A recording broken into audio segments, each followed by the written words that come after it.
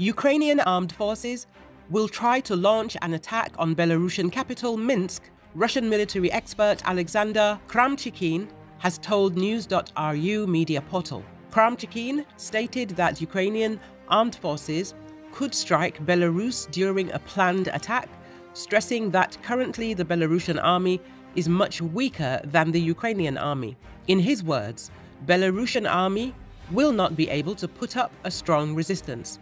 Khramchikhin emphasized that currently the Ukrainian army is superior than the Belarusian army according to all indicators. Last week, Ukrainian President Volodymyr Zelensky stated that the armed forces have almost enough assets and weapons to start moving forward and that Ukrainian defenders are primed for success. The planned counterattack could mark the most consequential phase of the war as Ukraine seeks to take back significant territory.